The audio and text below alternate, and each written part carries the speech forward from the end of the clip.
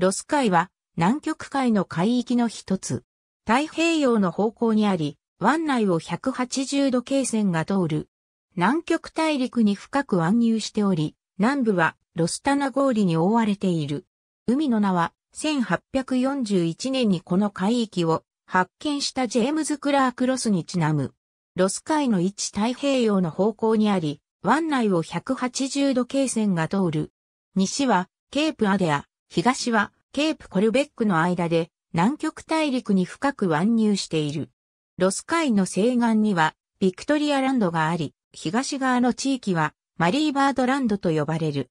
大西洋の方向にあるウェッデル海との間は南極大陸の幅が狭まっており、ロス海西海岸からウェッデル海東岸にかけて南極横断山脈が連なる。この山脈をもって東南極と西南極が分けられており、ロス海は西南極側にある。ロス海の南部はロス棚氷に覆われている。ロス海の西部にはロス島が、東部にはルーズベルト島がある。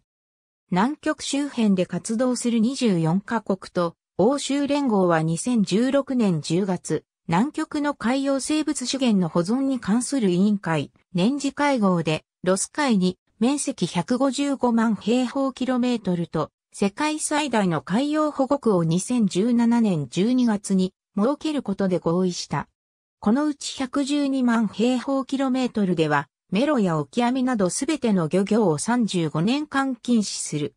ロス海、ロスタナゴーリとその沿岸にあたる東経160度から西経150度の範囲についてニュージーランドがロス海属領として領有権を主張している。ただし、南極条約によって南極地域における領土主権と請求権は凍結されている。ありがとうございます。